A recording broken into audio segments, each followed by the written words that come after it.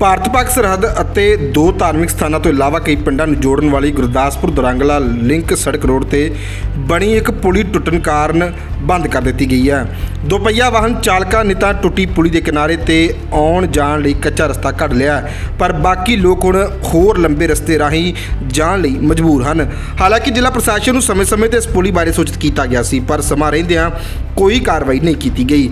ਜ਼ਿਕਰਯੋਗ ਹੈ ਕਿ ਗੁਰਦਾਸਪੁਰ, ਦਲਾਂਗਰ ਰੋਡ ਤੇ ਪਿੰਡ ਸੈਦਾ ਨੇੜੇ ਬਣੀ ਪੁਲੀ ਹੁਣ ਲਗਾਤਾਰ ਪੈਰੇ ਮੀਂਹ ਕਾਰਨ ਢਹਿ ਗਈ ਹੈ, ਜਿਸ ਕਾਰਨ ਧਾਰਮਿਕ ਸਥਾਨਾਂ ਤੇ ਜਾਣ ਵਾਲੇ ਲੋਕਾਂ ਅਤੇ ਆਲੇ ਦੁਆਲੇ ਦੇ ਪਿੰਡ ਵਾਸੀਆਂ ਨੂੰ ਸੜਕ ਦੇ ਬੰਦ ਹੋਣ ਕਾਰਨ ਭਾਰੀ ਪਰੇਸ਼ਾਨੀ ਦਾ ਸਾਹਮਣਾ ਕਰਨਾ ਪੈ ਰਿਹਾ ਹੈ।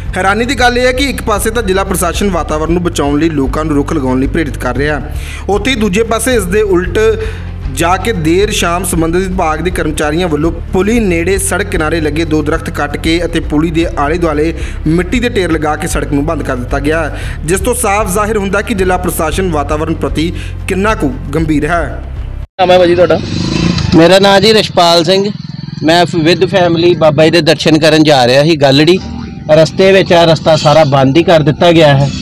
ਤੇ ਜਿਹਦੇ ਕਰਕੇ ਬਹੁਤ ਪਰੇਸ਼ਾਨੀ ਆ ਰਹੀ ਆ। ਹੁਣ ਮੈਨੂੰ ਫੇਰ ਗੱਡੀ ਮੋੜ ਕੇ ਕੋਈ ਰਸਤਾ ਲੱਭਣ ਦੀ ਕੋਸ਼ਿਸ਼ ਕਰ ਰਿਹਾ ਵੀ ਕੋਈ ਬਾਬਾ ਜੀ ਦੇ ਦਰਸ਼ਨ ਕਰਨੇ ਆ ਅਸੀਂ। ਕਿਸੇ ਤਰੀਕੇ ਦਾ ਕੋਈ ਬੋਰਡ ਪ੍ਰਸ਼ਾਸਨ ਵੱਲੋਂ ਪਿੱਛੇ ਲਗਾਇਆ ਗਿਆ ਕਿ ਰਸਤਾ ਬੰਦ ਹੈ ਨਹੀਂ ਕੋਈ ਵੀ ਨਹੀਂ ਲਗਾਇਆ ਗਿਆ। ਅਸੀਂ ਤੇ ਬਿਲਕੁਲ ਸਾਰਾ ਦੇਖਦੇ ਆ ਰਹੇ ਹਾਂ ਕੋਈ ਵੀ ਪ੍ਰਸ਼ਾਸਨ ਵੱਲੋਂ ਕੁਝ ਵੀ ਨਹੀਂ ਨਹੀਂ ਲਗਾਇਆ ਗਿਆ। ਲਗਾ ਦਿੰਦੇ ਤੇ ਪਹਿਲਾਂ ਸਾਨੂੰ ਪਤਾ ਲੱਗ ਜਾਂਦਾ ਅਸੀਂ ਉਹਦਾ ਕੋਈ ਸਮਾਧਾਨ ਦੇਖ ਲੈਂਦੇ ਪਹਿਲਾਂ ਹੀ।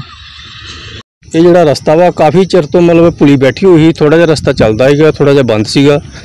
ਤੇ ਹੁਣ ਇੱਕਦਮ ਰਸਤਾ ਟੁੱਟ ਗਿਆ। ਇਸ ਰਸਤੇ ਦੀ ਇੰਨੀ ਕਾ ਵਜ੍ਹਾ ਇਹ ਵੀ ਜਿਹੜੀ ਇੱਧਰ ਇੱਕ ਗੁਰਦੁਆਰਾ ਪੈਂਦਾ ਟਾਲੀ ਸਾਹਿਬ ਗਾਲੜੀ, ਜੋ ਕਿ ਸੰਗਤ ਨੂੰ ਆਉਣ ਜਾਣ ਵਾਸਤੇ ਇੰਨੀ ਪਰੇਸ਼ਾਨੀ ਹੋ ਰਹੀ ਹੈ ਕਿ ਜਿਹਦਾ ਹਿਸਾਬ ਕਿਤਾਬ ਕੋਈ ਨਹੀਂ। ਇਸ ਪੁਲੀ ਦਾ ਹਾਲ ਵੇਖ ਲਓ ਵੀ ਹੁਣ ਇੱਕਦਮ ਪੁਲੀ ਜਿਹੜੀ ਹੈ ਨਾ ਟੁੱਟ ਗਈ ਆ, ਤੇ ਇਸ ਮਹਿਕਮੇ ਦੀ ਅਣਗਹਿਲੀ ਵੇਖੋ, ਜਾਂ ਪੰਜਾਬ ਸਰਕਾਰ ਦੀ ਕਰ ਲਓ, ਜਾਂ ਇਸ ਪਾਸੇ ਦੇ ਜਿਹੜੇ ਮੁਲਾਜ਼ਮ ਸਰਕਾਰ ਨੇ ਐਸਡੀਓ ਐਕਸ਼ਨ ਐਸਸੀ ਇਹਨਾਂ ਦੀ ਅਣਗਹਿਲੀ ਵੇਖੋ ਵੀ ਇੰਨੀ ਸੰਗਤ ਨੂੰ ਇਹ ਪਰੇਸ਼ਾਨੀ ਹੋ ਰਹੀ ਹੈ। ਇਸੇ ਛੋਟੀ ਜਿਹੀ ਵਜ੍ਹਾ ਕਰਕੇ ਕੋਈ ਏਡਾ ਵੱਡਾ ਖਰਚੇ ਦਾ ਕੰਮ ਨਹੀਂ ਹੈਗਾ ਪਰ ਅਣਗਹਿਲੀ ਅਫਸਰ ਇਹੋ ਕਰਦੇ ਆ ਵੀ ਆ ਜਿਹੜਾ ਕੰਮ ਵਾ ਹੁਣ ਵੇਖੋ ਆ ਜਿਹੜੀ ਸੰਗਤ ਦੀ ਪਰੇਸ਼ਾਨੀ ਆ ਇਹ ਇਹ ਹੁਣ ਸੰਗਤ ਨੂੰ ਪਰੇਸ਼ਾਨੀ ਇਹ ਸਰਕਾਰ ਮੁਲਾਜ਼ਮ ਇਹਨਾਂ ਨੂੰ ਤਾਂ ਕੋਈ ਇਹਨਾਂ ਦੀ ਦਿੱਕਤ ਤੇ ਕੋਈ ਅਸਰ ਨਹੀਂ ਹੈਗਾ। ਪਿਛਲੇ ਕਿੰਨੇ ਸਮੇਂ ਤੋਂ ਜਿਹੜਾ ਲਗਭਗ ਇਹ ਜਿਹੜਾ ਪੁਲ ਬੈਠਾ ਹੋਇਆ ਸੀ ਇਹ ਪੁਲ ਤਕਰੀਬਨ ਅਸੀਂ 7-8 ਸਾਲ ਤੋਂ ਵੱਧ ਹੀ ਹੋ ਗਿਆ ਸਮਾਂ ਆਉਂਦੇ ਜਾਂਦੇ ਰਹੀਦਾ। ਸਾਡਾ ਇੱਧਰ ਜ਼ਿਆਦਾ ਗੁਰੂ ਮਹਾਰਾਜ ਵਿਹਾਵ ਆ, ਅਸੀਂ ਤੁਰੇ ਨੇ ਹਫ਼ਤੇ ਬਾਅਦ ਹੁੰਦੇ ਨੇ ਐਤਵਾਰ ਵੀ ਆਈਦਾ, ਜਦੋਂ ਟਾਈਮ ਮਿਲੇ ਉਦੋਂ ਆਈਦਾ।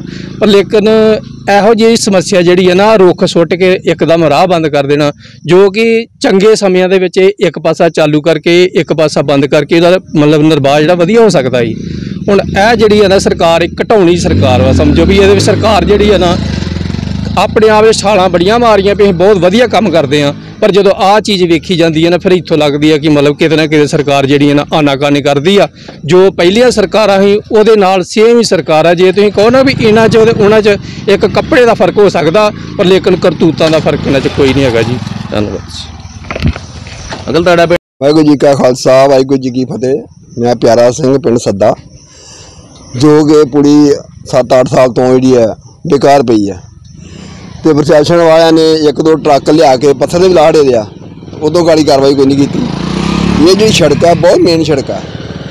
ਕਿਉਂ ਗਾੜੀ ਇਹ ਗੁਰਦੁਆਰਾ ਬਾਬਾ ਸ੍ਰੀ ਚੰਦ ਸਾਹਿਬ ਆ ਉਹ ਇਤਿਹਾਸਿਕ ਗੁਰਦੁਆਰਾ, ਸਾਡੇ 100 ਪਿੰਡ ਦਾ ਇਤਿਹਾਸਿਕ ਗੁਰਦੁਆਰਾ। ਦੂਜੀ ਇਹ ਸੜਕ ਸਿਰਫ ਗੁਰਦੁਆਰਾ ਨਹੀਂ, ਇਹ ਡਿਸਪੈਂਸਰੀ ਏਰੀਆ ਵੀ ਆ। ਇਹ ਕਰਕੇ ਸਭ ਬਹੁਤ ਪਰੇਸ਼ਾਨੀ ਪੈਣ ਦੀ ਆ। ਇਹ ਕੰਮ ਅੱਜ ਤੋਂ ਮਹੀਨਾ 6 ਮਹੀਨੇ ਪਹਿਲਾਂ ਸੁੱਕੇ ਦੇਣਾ ਬਾਰਿਸ਼ ਤੋਂ ਪਹਿਲਾਂ ਹੋ ਸਕਦਾ ਸੀ। ਇਹ ਨਹੀਂ ਕੀਤਾ, ਨਿਕਾਲੀ ਆ। ਸੋ ਜਿਸ ਤਰੀਕੇ ਨਾਲ ਇਹ ਜਿਹੜੀ ਕੱਟ ਕੇ ਲਗਾਇਆ ਗਿਆ ਇਸ। ਬਾਰੇ ਕੀ ਕਹਿਣਾ ਚਾਹੋਗੇ? ਔਰ ਕੀ ਜਿਹੜਾ ਪ੍ਰਸ਼ਾਸਨ ਨੂੰ ਇੱਥੇ ਕੋਈ ਫਲੈਕਸ ਬੋਰਡ ਜਾਂ ਕੋਈ। ਬੋਰਡ ਜਿਹੜਾ ਲਗਾਉਣ ਦੀ ਬਜਾਏ ਕੋਈ ਇੱਥੇ ਰੁੱਖ ਕੱਟ ਕੇ ਲਗਾ ਸਾਵਧਾਨੀ ਬੋਲ ਲਾਉਣੇ ਚਾਹੀਦੇ ਸੀ ਇੱਥੇ। ਜਾਨ ਦੇ ਬਾਰਾ ਕੰਧ ਕੱਢ ਦੇ ਬਜਾਏ।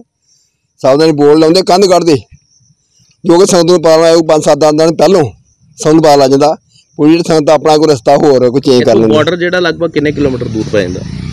ਸਾਡੀ ਬਾਡੀ ਹੋਵੇਗਾ ਪਰ ਚਾਰ ਚਾਰ ਤਿੰਨ ਚਾਰ ਵੱਡੀ ਕਿਲੋਮੀਟਰ ਬਾਅਦ ਪਰੇਸ਼ਾਨੀ ਜਿਹੜੀ ਕਿਤੇ ਨਾ ਕਿਤੇ ਡਿਫੈਂਸ ਵਾਸਤੇ ਵੀ ਸਾਬਿਤ ਹੋ ਹੈ। ਬਹੁਤ ਤਗੜੀ ਹੈ ਜੀ ਬਹੁਤ ਤਗੜੀ ਬਾਈ ਪਬਲਿਕ ਦੇ ਵਧੀ ਹੁਣ ਲੰਘਦੇ ਹੁਣ ਬੱਸਾਂ ਟਰੱਕ ਜੋ ਵੀ ਆ ਸੱਦੇ ਸਾਰੇ ਪਿੰਡਾਂ ਦਸਾਂ ਪਿੰਡਾਂ ਉੱਤੋਂ 5-6 ਮੀਲ ਦਾ ਸਫ਼ਰ ਕਰਕੇ ਟੇਢੀਆਂ ਮੇਢੀਆਂ ਗਲੀਆਂ ਚੋਂ ਲੰਘ ਕੇ ਆਉਂਦੇ ਨੇ।